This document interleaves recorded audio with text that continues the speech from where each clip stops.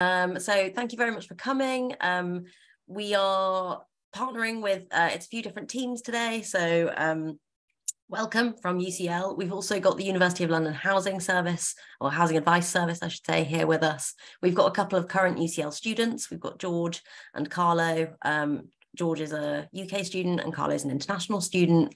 We've also got Chris here from the International Student Support Team. So Chris is an expert on all things international. Um, and we've got a representative from the Students' Union as well. We've got Yasmin, um, who is a budgeting expert. Um, so first things first, I'm going to hand over to Rav from the University of London Housing Advice Service. Rav's going to give us a quick overview before we dive into some more detail. Hi everyone, um, my name's Rav. I'm from the University of London Private Housing Services. The purpose of today is to go for a quick overview on the first steps to moving in. I should let you all aware that we do have a full longer version on our YouTube channel. So please look for University of London Housing Services on YouTube. We also have a Facebook page, Twitter and Instagram.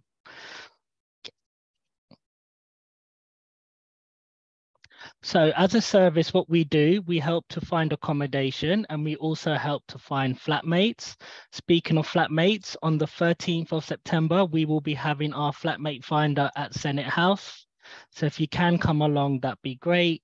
That'd be a great opportunity for you all to meet other students. We will have icebreakers and games and just give you on the day giving you advice also on what to look for for property. So if you're looking for flatmates, please attend this um, event. We also do have a Facebook um, flatmate finder page. So again, a great resource for you all to um, use. We also, um, as a service, check contracts for you. So when you do find a property and you would like us to look over our contract, you can book an appointment with us. We will make sure that it's all legal. We will do the a land registry check to make sure that the landlord is the landlord of the property and answer any questions you may have. And we also give um, housing advice in general. So if you ever do have any um, problems during your tenancy or you feel like your landlord's not doing something that they shouldn't, or you know we will give you um, legal advice. Okay first thoughts when thinking about property is the type of accommodation. Okay sorry i've just been informed my my slides are not um sharing. And um, please let me bear me one moment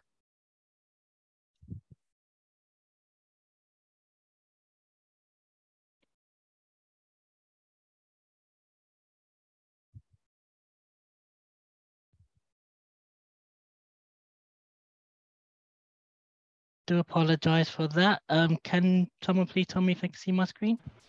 That's perfect. Okay. Sorry about that. Um, so, and hopefully my slides have changed. Yeah, perfect.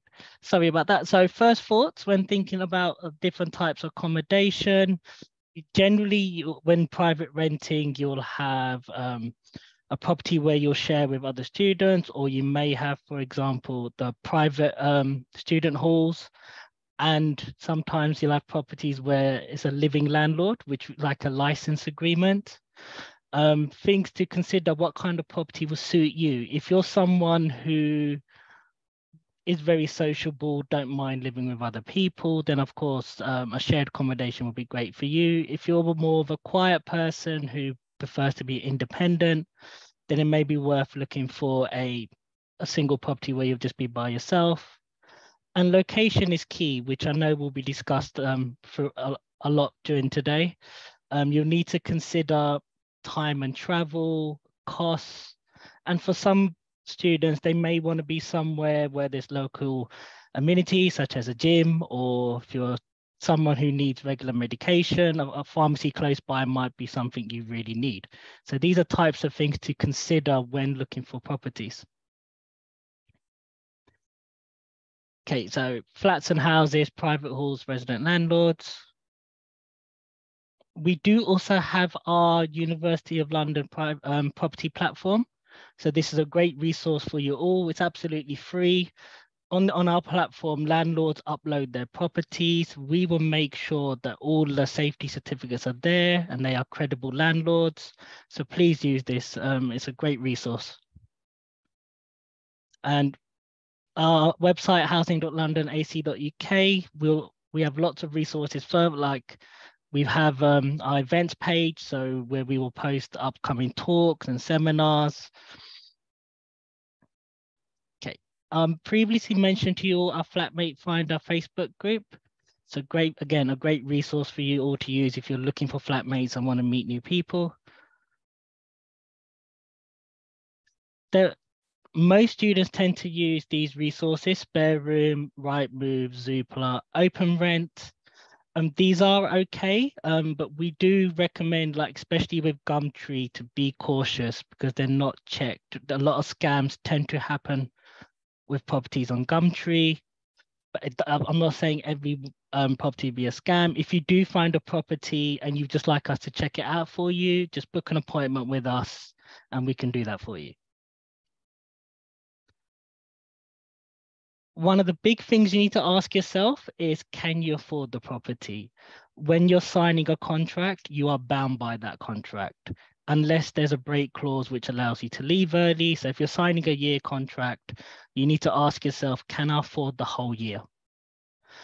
Um, one thing I'd like to um, go through is joint liability. So when you do sign a contract with other tenants, you are all jointly reliable. So you need to have that conversation um, because it's it's a kind of if let's say you all agree to pay the bills. If someone doesn't pay their share of the bill, unfortunately, the other tenants will have to cover that cost. So it's good to have that conversations to make sure that everyone can afford that tenancy be cautious of um, money transfers. Um, most reputable organizations do not ask to use like Western Union, MoneyGram.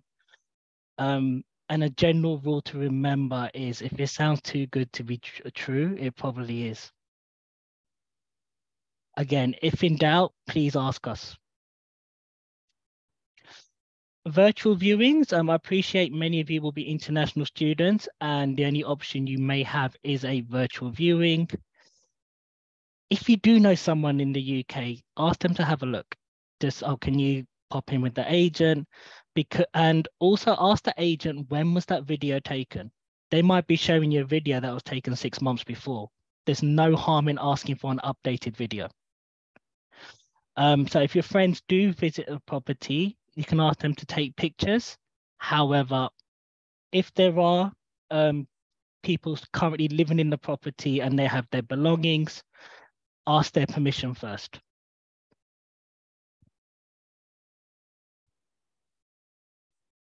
So the Tenant Fee Act was a brilliant piece of legislation that come into force. Um, uh, it banned most administrative fees.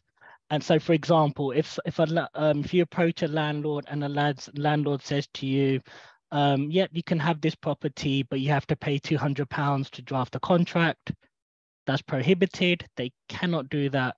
So, if you are asked for any fees like that, please approach us and ask for advice.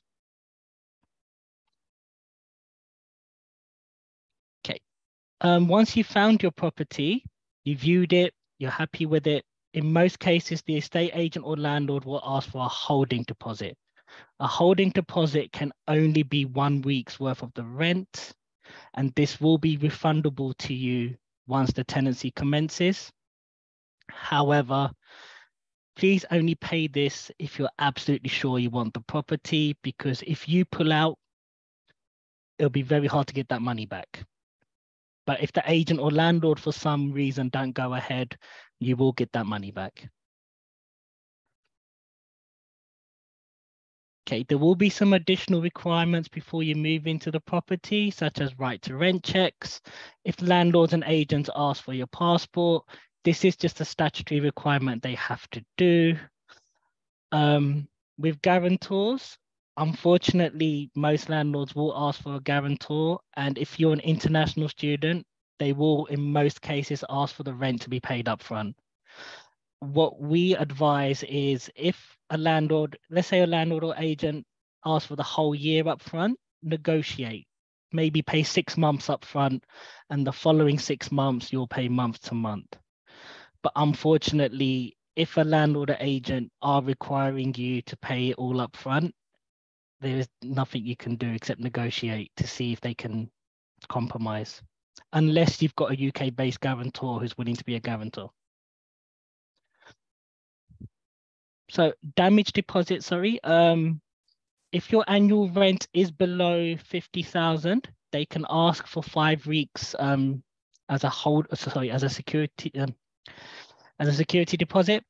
This will be paid back to you at the end of your tenancy, providing that you haven't caused any damages and you've paid your rent. Oh, it will be explained a little bit more in depth later on with regarding the deposits. Please visit um, our housing guide.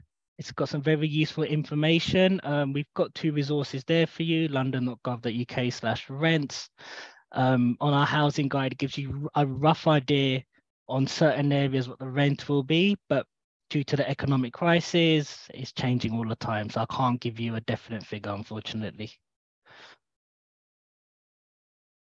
So where you can get advice, of course, from us, whilst you are a student, our service is free for you all. Um, you've also got your college um, student services team. Um, Shelter England and Citizen Advice are free um, organizations where you can get legal advice on housing. Um, to contact us, um, these are provided our contact details. So housing.london.ac.uk, where we post all our events. Um, if you want to book an appointment with us, um, you don't have to come to Senate House if that's difficult for you. We do offer Teams appointments, telephone appointments also. And that's the end of my slides. Thank you all so much. Thank you very much, Rav. Um, that was really helpful. Um, I'm just going to pick up on one point that you made um, about guarantors. Um, so UCL has a guarantor scheme, um, okay. which can be um, applied to by international students. Okay. there's much more information on our website about how that all works, but the basically the bottom line is you need to have all of your ducks in a row. So um, because it takes a couple of days to come through. You need to make sure you've got all your paperwork ready. But yeah, don't don't miss out on the uh, the guarantor scheme. That is an option that's available to UCL students who are um, international, and then those in kind of specific circumstances. Um, the other point I was going to ask about was we've got a question in the chat from Sarah. Um, the 13th of September Flatmate Finder event. Um, can offer holders attend that event? Yep. Um, I'll say offer holders. Um, yes, I believe yes they can. That's great. Um, so there's that's that's really good for uh, for the offer holders who are on the call. Um, you've got there's an event run by the University of London Housing Advice Service on the 13th of September at Senate House, which is all about flatmate finding. There is also a Facebook group um, which Rav shared the link to. Um, if someone could pop that into the question and answer, that would be all the chat, that would be great as well. Um, so that we've got the link there. Fantastic. Okay, so I think we're going to move into um, our big question list. Please do um, pop questions into the Q&A um, if you've got them. We will try to get to as many as we can, um, but we're also, we've got to, we're going to cover this in a kind of journey sense. So right from the start of when you're thinking about who your flatmates are, all the way through to the end of tenancy, which is quite a long time uh, in the future. So let's start by thinking about flatmates. How do you go about finding flatmates, choosing flatmates? Um, for this question, and you know, what do you need to think about when you're picking your housemates? Um, George or Carlo, as our current students, have you got any guidance for the for the students on the on the call? Should I go to um, George first? Yeah, of course. Um, so yeah, I mean, choosing your flatmates is probably like one of the most important things. I think first of all, it's really important to learn about your schedules. So like, are you a morning person? Are you an evening person? Because I think if your flatmates are waking up really early in the morning and you can hear their alarm, like that's really not going to be nice for you. Um, and I know I had that experience a lot. Um, and also how clean you are. So in terms of like the kitchen and your like say the living room spaces like that um, it's really important that you live with people say who have the same standards with you um, because that could really impact how you live in your um, new place. And as well and the kind of property you want um, so are you all looking for say like more of a um, like on an estate or are you looking for like more of a house where you have much more bigger spaces but you're say a bit more further outside of london? Um, and as well things like how close you are to campus. So where i am i wanted to be walking distance um, and i originally was planning to live with some people that were happy with like commuting but ended up that we couldn't find any places that we both agreed on. Um, and so i just had to change but it's really important to start having conversations about it early on in the year um, because quite often like it's very stressful time. And so the more people you talk about like what you like in a house or say um, what your budget is and things like that like the easier it is to solve it. Um college you have any other extra points? Well personally i was very lucky. I ended up living with uh, two course mates of mine so i knew them fairly well um, and um, we did have a very very honest like discussion of budgeting and like uh, how far we wanted to live from campus uh, pretty early. So before we started the viewings then when i flew to the uk to do all the viewings um, of course since uh, one of my flatmates is also international it was just me doing all the viewings. Um, i had like a list of all the things that they wanted um, that we had agreed upon and so uh, it was very easy to find the right flat for us. I already knew what I was looking for. Oh, that's great. Thank you both so much for those uh, for those bits of advice. Um, sticking on the kind of budget theme now. So, Carlo, you mentioned you had a very honest conversation with your future flatmates about budgeting. Um, I think honesty is important when it comes to this kind of thing.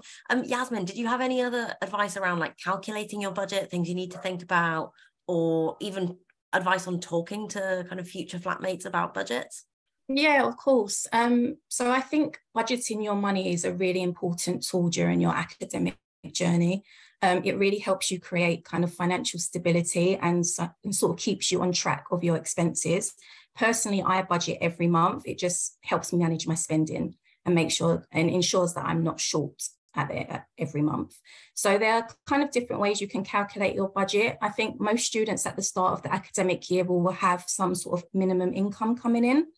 Um, at the beginning, it might seem like quite a lot of money, but you should really think about how you're going to make your money stretch.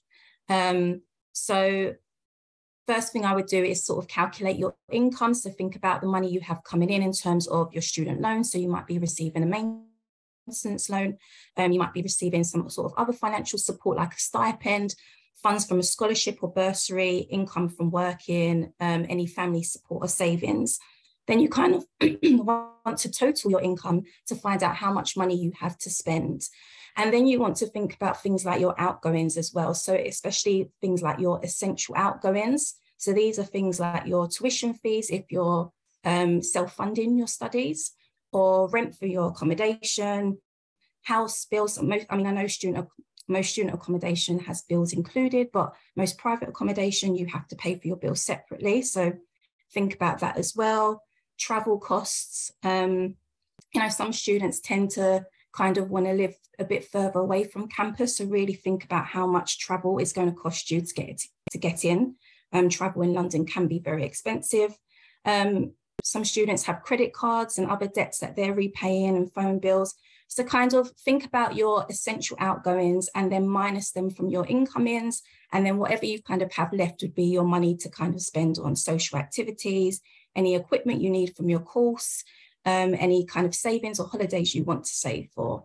Um, just to add, there are lots of budgeting tips out there. Um, Money Dashboard is a really good one for people that are on their phones constantly. It kind of helps you categorize your spending and kind of displays all your incomings and outgoings. Also, if you're a person that really is into spreadsheets, UCAS have a really good um, spreadsheet you can use.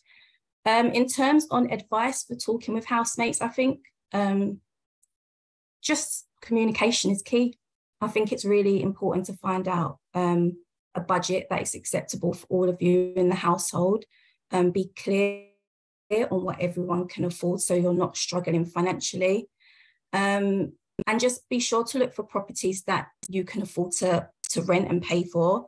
I've worked in higher education for a good couple of years, and I find that a lot of students tend to get themselves into really high tenancy agreements and then after a couple of months they're really struggling to pay their rent so just be clear on on what you can afford there's some really good budgeting apps out there as well that kind of helps you um, figure out how much money you can spend on rent um, and i'm happy to share them in the chat as well Thank you very much, Yasmin. That's really helpful. Um, I think all of that guidance around budgeting is very important. That's not just important when you're a student, it's important when you're kind of a young professional all the way through to uh, being a pensioner. Um, getting a handle on your budget early is a very good plan. Um, personally, I favour a spreadsheet.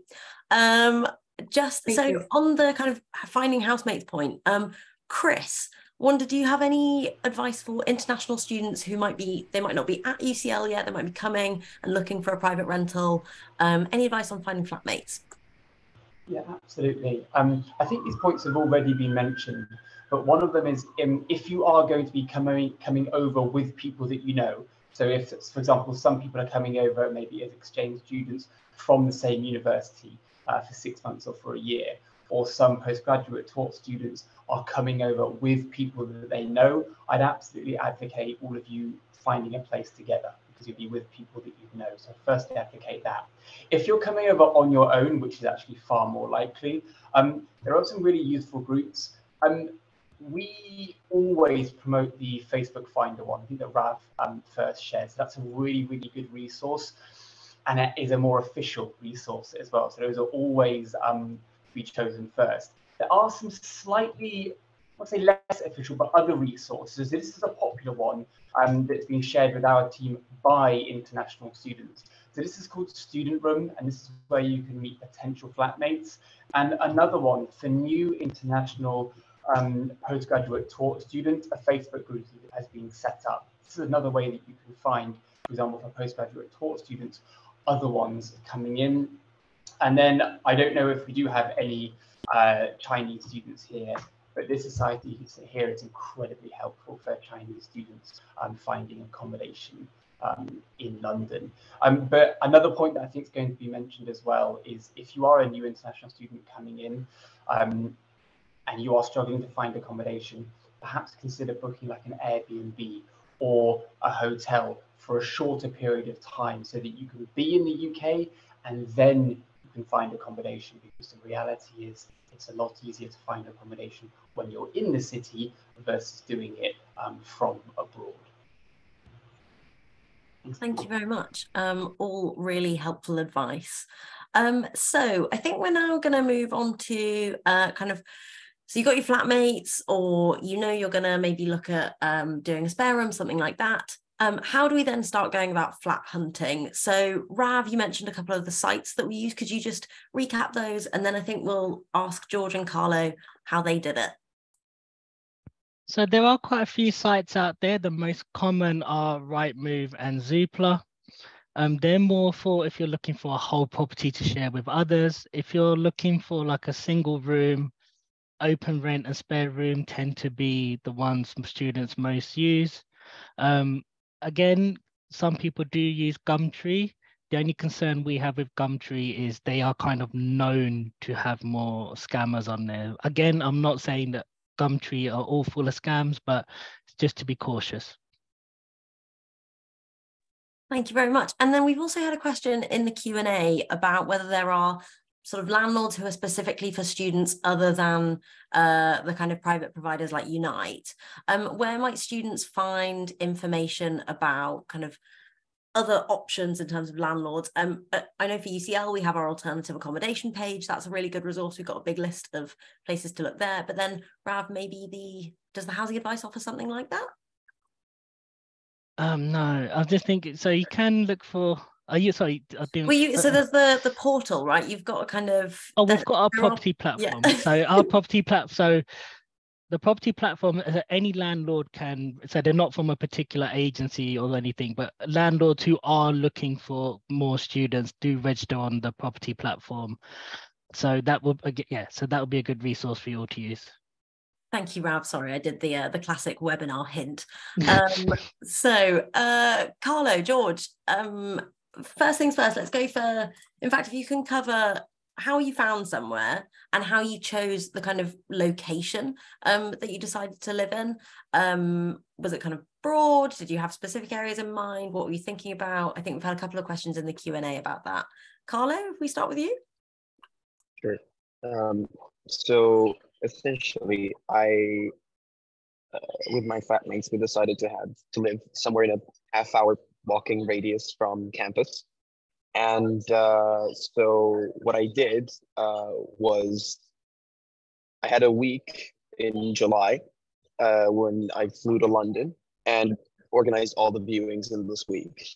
So in the week, in the two weeks prior, I well checked Rightmove and Zoopla, but I also contacted um, agents directly, saying I was looking for a flat for three people in this zone when in this budget um, um,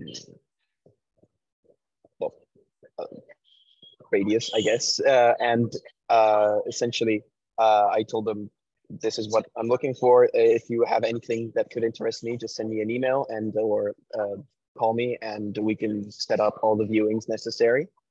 And so when I got to London, I have basically like four viewings a day, and uh, I managed to like see loads of properties, and uh, and in the end, I found the one that was that happened to to be the final choice on the last day, um, on the Friday. So I was very glad I did. But um, I really, I really uh, suggest contacting um, the agents because they can be really, really helpful because they know what they have, what they can offer, and they know what they can Thank you very much, Carlo. Um, George, how about you? How did you kind of find something? What were you thinking about when you were thinking about areas? So um, we used uh, Rightmove and Zoopla mainly, um, and I think what happens is they list properties and then they have the phone number for the agencies that you can call that are organizing viewings and letting you contact your landlords. And so we rang them up and we just asked them, are like they available to do a viewing for us?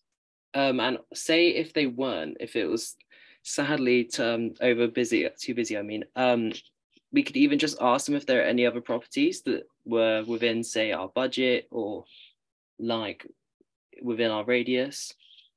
And I will say for um, Rightmove and Zoopla, you can change the radius and you can put in um, how much like you want to spend per week or per month. Um, and so that's good to filter out properties. And also, I think you can turn on notifications so that say when a property does show up, you can get notified by email. Um, but I will say you have to be really like on it with that because quite often I found is that properties can show up and then they can just disappear. Um, and there was a point made earlier about how um, you like should always do a viewing to see your like property before you put down a deposit.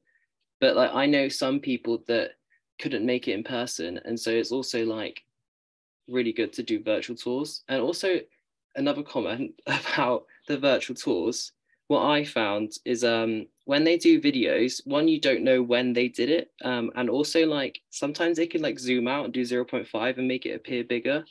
So it's really important when you're asking for a virtual tour, make sure it's in like one times view so that it's actually going to be to scale. Um, and we did it over like a two month period. Um, Sadly, we didn't find it in one week. Um, there's a lot of competition on the market, so you have to be aware of that. Um, but if you look around, say May, June time, normally it should be good. You should be able to find a property. It's just you need to get through the initial slump of calling loads of people up and putting down offers and whatnot. Thank you very much, George. Yeah, just to kind of add on to that point, something to be aware aware of and prepared for if you're coming to London. And honestly, the UK at the moment, we are in a kind of housing, uh, let's call it a pinch point here. Um, it's you are going to have to really put effort into looking. You are going to have to be willing to make some compromises potentially, um, particularly around budget. So and and location is probably the big one Um, George and Carlo are quite lucky that they're both living in walking distance. For a lot of students, that's not the case. Most of them are at least a bus ride away, sometimes a tube ride. Again, when you're thinking about budgeting, factor those sort of aspects into your into your budget. So if you're going to have to get the tube every day, um, you want to then look for sort of cheaper rent so that it's balancing that budget out. Um, things to think about, and because we've had a few questions around where students at UCL actually live. Um, for most students, it's quite interesting. It's like this block of north central London that tends to be where they go, but we are seeing more and more spread east and west. Um, still, most people are north of the river. There are a few who go who venture south of the river, um, but generally speaking, it's in that kind of north central block. But often it's zone two, sometimes it's zone three and four, um, and for some students that's quite nice. So I actually went to UCL and after first year lived in like at the edge of zone two and three for the whole time because a slightly cheaper and b i had mm, sort of parks nearby and bigger supermarkets and bigger supermarkets are cheaper. Um, even things like uh, slightly cheaper cinemas if you go slightly further out. Um, so think about the other aspect of of living. It's not your your whole life isn't going to just be necessarily campus and home. There are other things that you can think about when you're looking but yeah, definitely be be willing to put in some some hard work. Um, and yeah, as Carlo as Carlo and George said, it could be anything from like a week of really intense looking all the way through to a month. Um, so to the people in the Q and A who've said, "Oh, I've been looking for a month." I'm still not finding anything. Definitely check in with the University of London Housing Advice Service, uh, even if it's just for a kind of to to chat and um, talk about how how it's tricky. I think housing looking for housing can be quite um, exhausting. Um, so definitely, you know, even if you just need to blow off some steam, book in with them, but keep going. You will find something. And well done for starting, you know, nice and early. I just um, wanted to add a to that, if that's yeah. okay. Sorry. So in May, the official date hasn't been organised, but we will be having our housing fair in May. So all the estate agents around London majority of them will come to Senate House and have stalls. So you can, of course, as I'll come to Senate House that day and you can speak to all the agents directly. In is that May next year? Yeah. That would okay. so if you're thinking like further further ahead, yeah. um, or for you know, you've come and done your first year, you're thinking about the next one, definitely make use of that housing fair. Um, okay, fabulous. So what we'll start doing then is talking about kind of flat viewings. Actually no we've touched on that really haven't we? Like how they work. Maybe let's think about what to look for when we're doing a viewing. Um, what to have your eyes peeled to notice. Um, rav any guidance for our um, students on that? Yeah um you want to look for signs. So um in the uk every property has to have a smoke alarm if there's gas, there has to be a carbon monoxide alarm. So look out for these. If you can't see a smoke alarm, ask the question. If you see a wire hanging out that just looks odd, ask the question, why is there a wire hanging loose? Um, damp and mold is the most common one to look for. Um, signs of pest infestation, you know, when viewing a property, there's no harm in asking those questions. Um, I'll give all students this tip and it may make you laugh and it may sound weird, but if you when you're viewing a property and the, with an agent, ask them if you can use the toilet. Um, you can literally go in the bathroom, flush the toilet, so you know the toilet's flushing. You can literally check the taps, make sure there's water's coming through, and you can check the electricity by putting the light on. Just by doing that one simple thing, you, you can you've done most of the checks already. Okay, fantastic. Um, everyone's going to be using those toilets.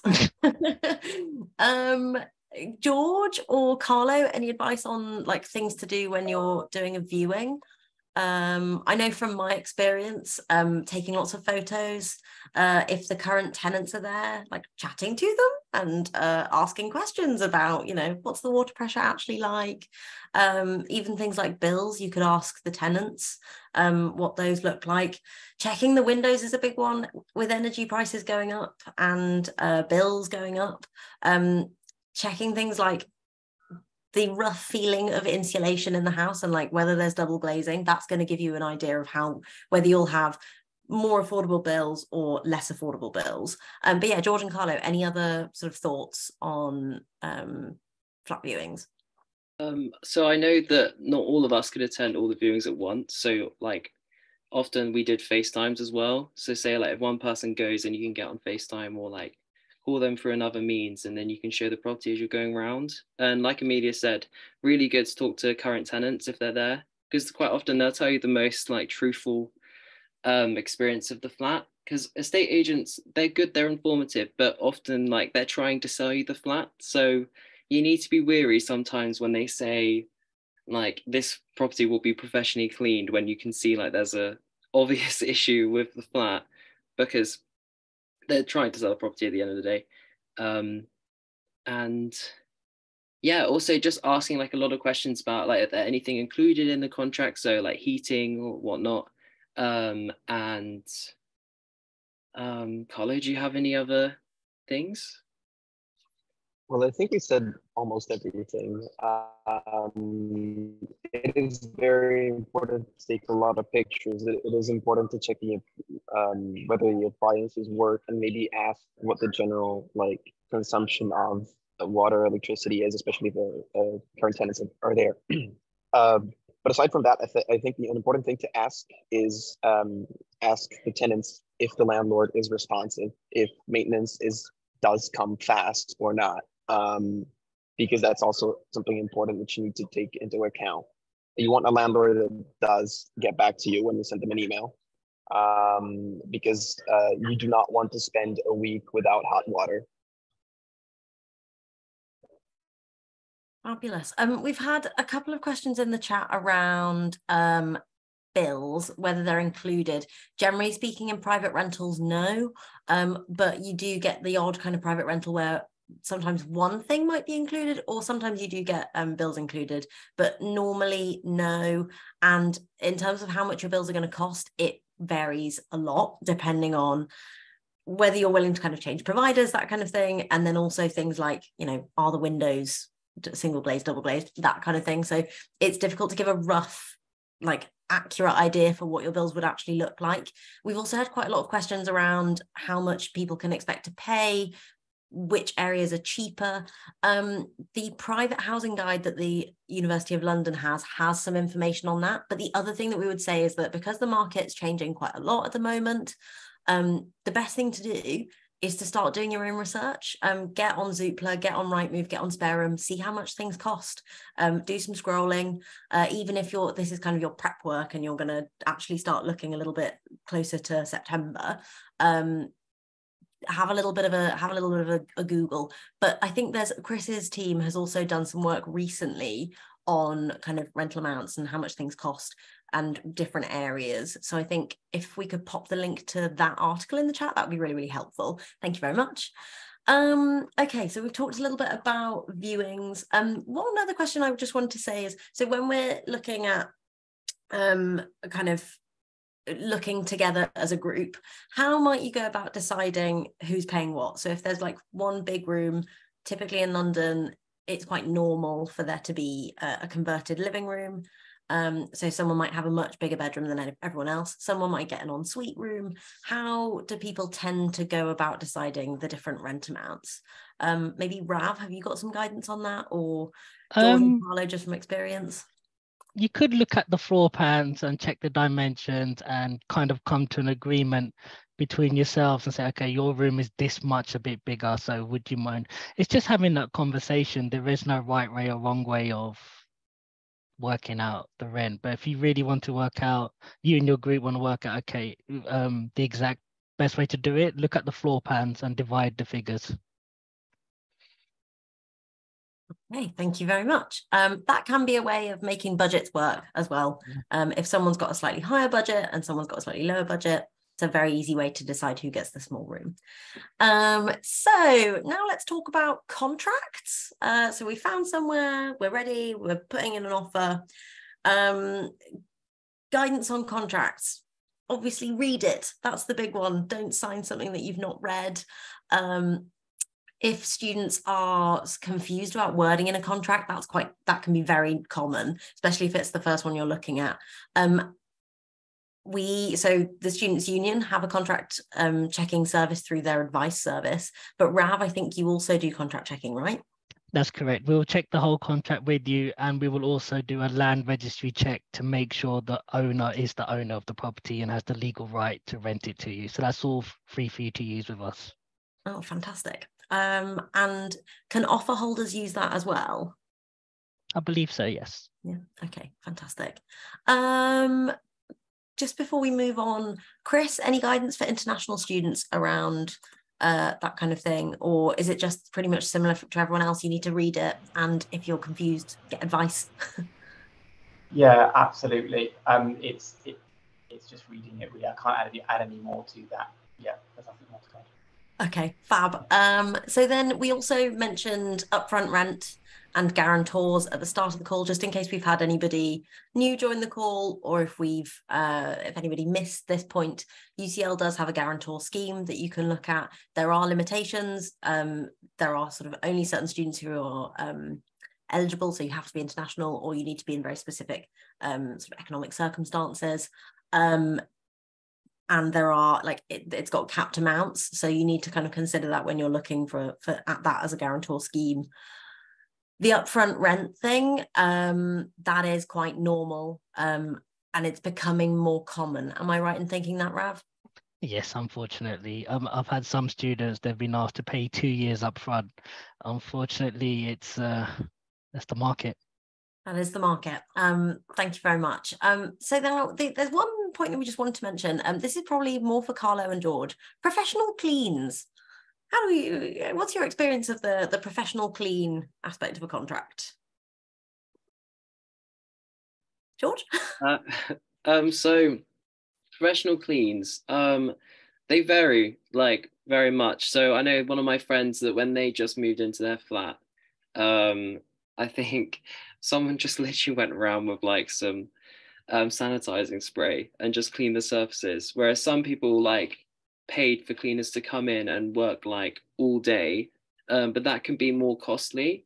So it very much depends on how much you're willing to spend on it. So I spoke to one person um, and they said they spent about, I think it was 200 pounds on a professional clean, but that was so that they didn't have to say spend a few days or even a week cleaning all up and they just had somebody come in for two days to help them out with it um, I will say like when you're moving in, um, it's probably a good idea to ask like more about how it will be cleaned before you come in. So say if you see like you can sometimes see mold when you're looking at bathrooms or even in the kitchen. So it's important to point that out and ask like, will this be like cleaned up before I move in? Or basically say, I want it cleaned up, not will this be?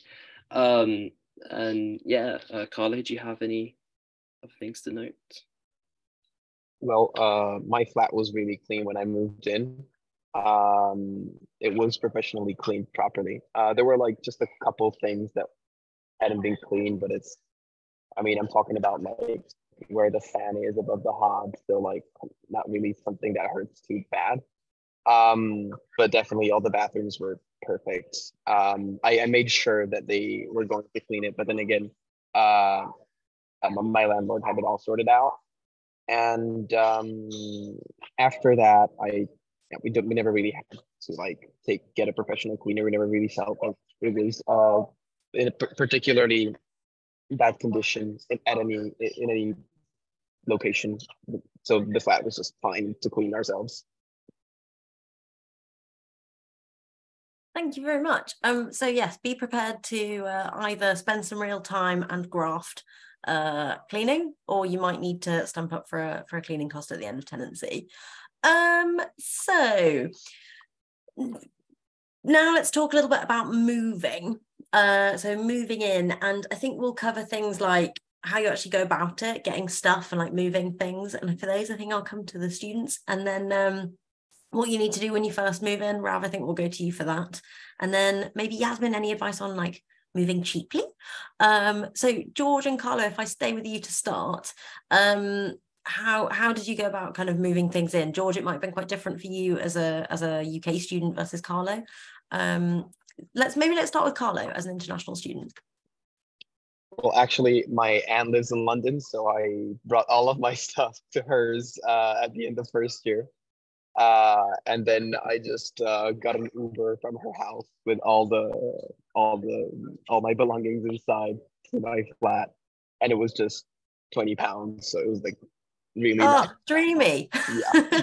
Okay, Really so Carlo's got a uh, cheat mode on.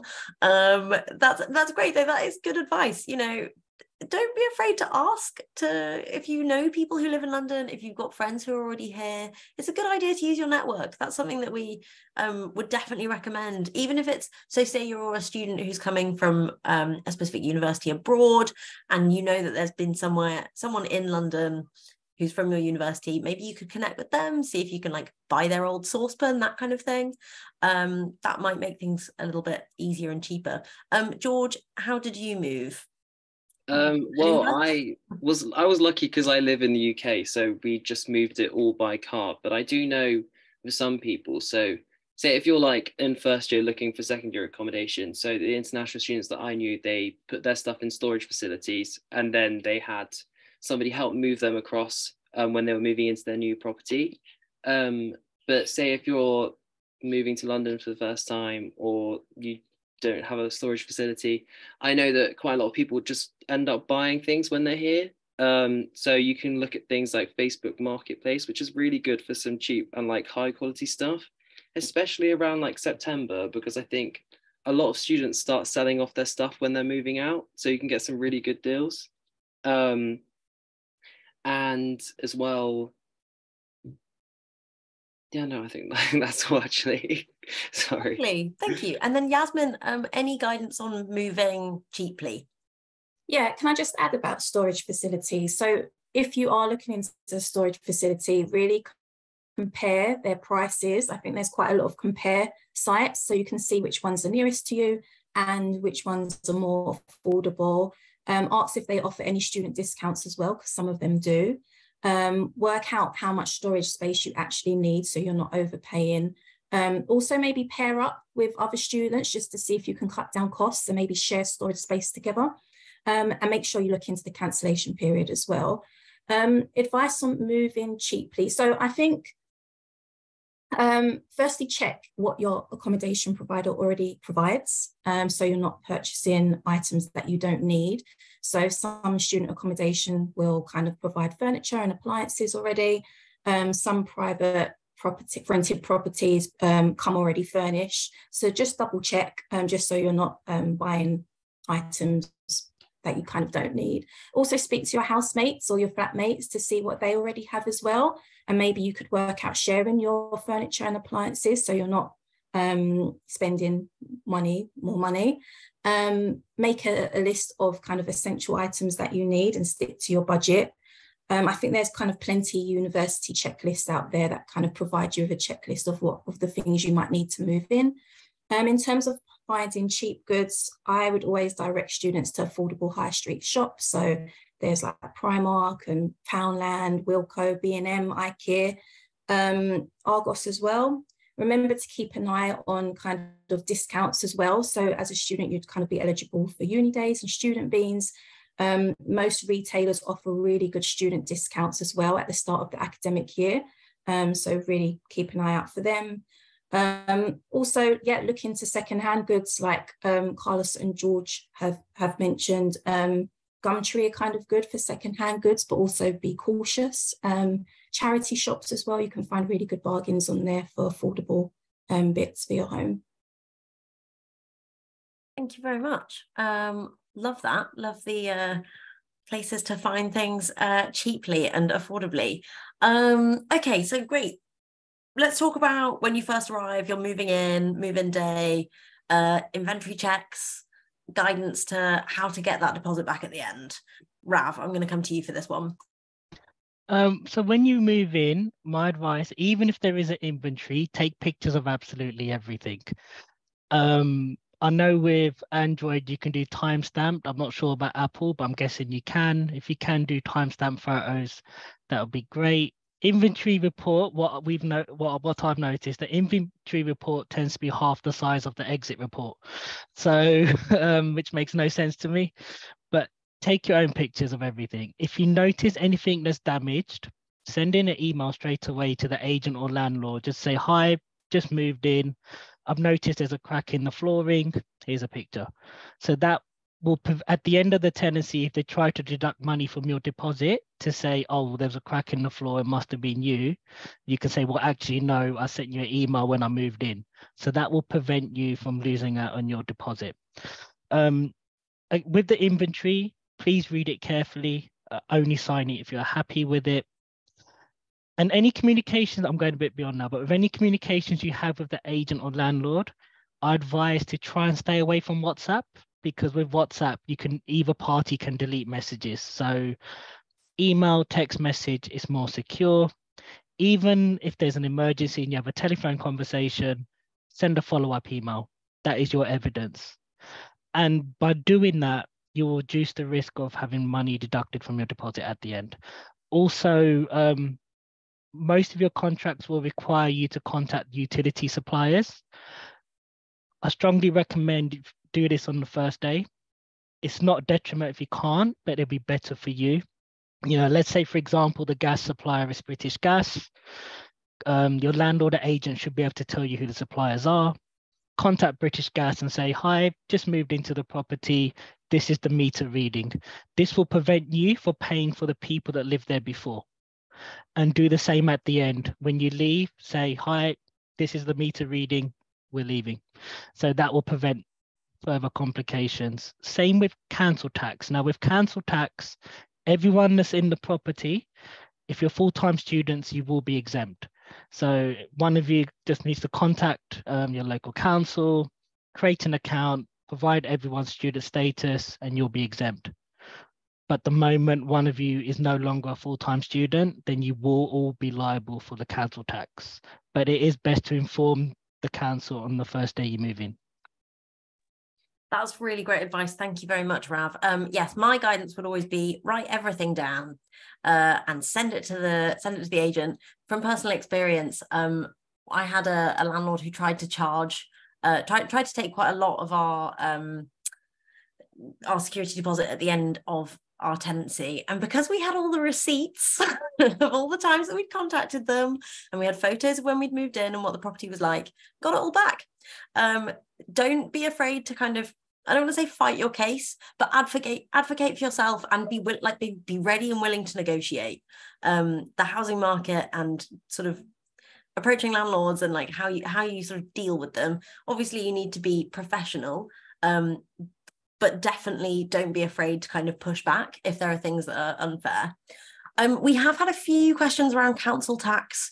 Um, if you are sort of sharing with professionals so if you're the maybe the only student the only full-time student living in a in the property rav do you have any guidance on how to deal with that you will be liable for council tax unfortunately there's no way of avoiding there will be a 25% discount yeah. but with regards to i mentioned in my slides joint liability so that goes across all bills as well you can't unfortunately say well i'm a student only they should pay bills damages, everything. In the eyes of the contract, you're all one person. So unfortunately, if if there is someone in the property who's not a full-time student, you will have to pay or council tax. Thank you very much. Um, I think that's that's everything on on sort of moving in. Unless Chris, did you have any guidance specifically for international students around like how to go about moving in, um, advice on like bills and things? Um, With regards to moving in, there's nothing particularly to add to the other students. Obviously, when you arrive here, you'll have what you get. Um, for any sort of packages that maybe you want to get sent over, obviously make sure that you're in the UK first. So time it so those packages arrive for you once you're already here. Don't try and send things ahead of time. That's probably the worst idea. Um, and uh, with regarding bills, do you mean sort of bu- budgeting wise or splitting them up or things like that? You're saying to bills? or just uh, sort of if you're brand new to the country you're not 100% sure of how things work um, guidance around like whether there are people who can help out and sort of help with explaining things um, again the london the university of london housing advice service or the su advice service are probably the the places to go yeah with regards to that we've actually created a video on that with two international students so i'll share that in the chat so nice. there's no no point me explaining that i'll share that in the chat Amazing. Okay, so check out the chat if you're an international student and you want to learn more about what it's like moving in and bills and things. Um, advice for during the tenancy i'm conscious we are coming up to kind of four minutes till the end. Um, we have already mentioned like reporting any issues immediately in writing avoiding causing any damage. Um, that is a, a big one. Um, if you want to get that deposit back try to not break things.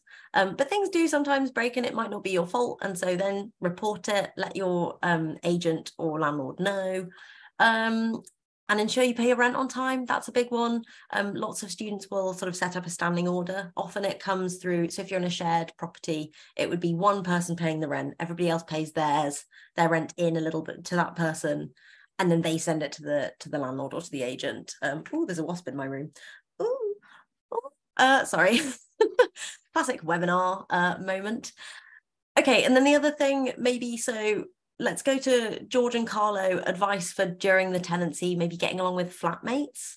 Um, and then I think Yasmin, if could you talk a little bit about the SU advice service if things go wrong? Um, George, Carlo, I'll start with you. How how do you kind of any guidance about like having a nice time? Carlo. Um, I think one of the most important things is dividing uh, well, the cleaning in between the flatmates. I think uh, we, so me and my flatmates, we had um, essentially a document where we wrote all the things that each had to do and divided as evenly as we could. So that, and without rotation, though I know people do rotation, but we decided that it would be better to just do what we knew how to do well, just do it in even um, chunks so um, I think that's really important because otherwise you might start resenting your um, uh, flatmates because I don't know they, they, you feel like they don't clean enough or they don't help out and that you're always the one cleaning the kitchen and uh, um, vacuuming the floor. So definitely I suggest doing that. I did it a little too late. I admit I did it three months in, which was a bad choice. Uh, so please do it as soon as you can. Um, and also, um, come when it comes to moving in, personally, my agent uh, had taken pictures of the entire flat, all of all the like little damage that then could that the landlord could have like attributed to us. So that was really nice. Uh, I don't know if it's common practice, but my agent sent me like so many pictures, like everything so I really didn't have to worry. Um, and uh, and then uh, I when I read my contract, I saw that it said um, that if there are, there is any damage due to use, um, then um, it's it's no problem, and they they would cover it. So that was also a great a great um, part of my contract. Thank you very much, um, George. Any little tips from you? Yeah, I think communication's key. So make it out from the start that if there's anything that you guys are disagreeing with, or I'm not saying that you're always going to be in disagreement, but it's really important that you can feel comfortable like telling your flatmates, say like, oh, like I wasn't happy about this. Like, could you maybe do this better, or like at least have a discussion about it? And I think when there's issues with the physical flat itself, yeah, contact the agents directly. Like you need to be on top of that because like once that's done and that's sorted, then you don't have to worry about that potentially cutting into the disc, um, sorry, security deposit because uh, you don't want that. Um, yeah, yeah. Okay, thank you very much. Also, very conscious we are getting uh, near the end of the time, but we'll, we might go a minute or two over. Um, Yasmin, um, could you tell us a little bit about the advice service and what support the union can offer if there is stuff that goes wrong um, during the tenancy?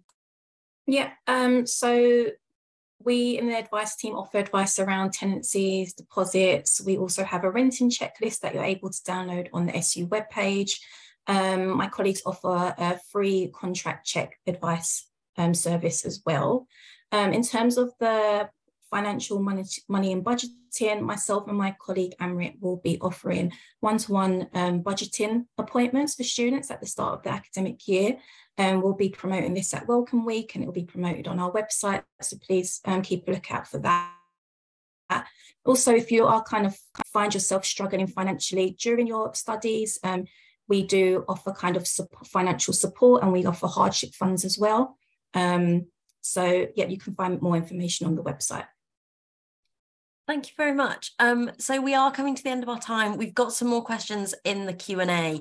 Um, what I would suggest doing is if your question hasn't been answered, please do send it across to us um, via social media is probably the easiest way. Um, if you go on Instagram and do at UCL uh, accommodation, that's a good place, or you could get in touch with the University of London Housing Advice Service. Um, thank you very much to all of our panelists for your time and for your answers.